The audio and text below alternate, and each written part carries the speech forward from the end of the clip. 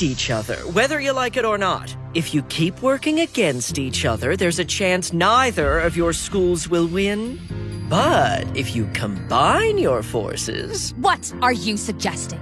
He's saying we need to work to... to...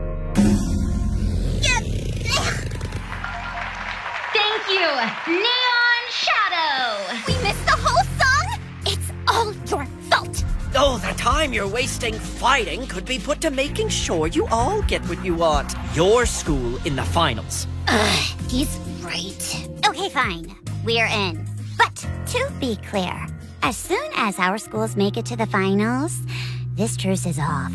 Period.